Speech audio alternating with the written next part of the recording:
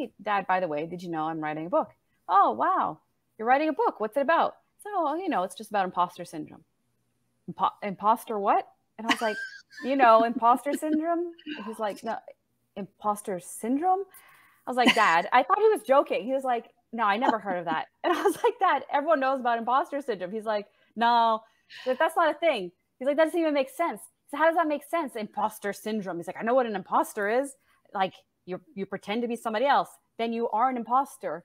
And then I so I said, Okay, Dad, it's like if you get a new job or you get a promotion and you feel really uncomfortable, even though you got the job and you could probably do it, you feel uncomfortable. You feel like you can't do it, or that even though you have the degree saying you can, you still feel like you can't.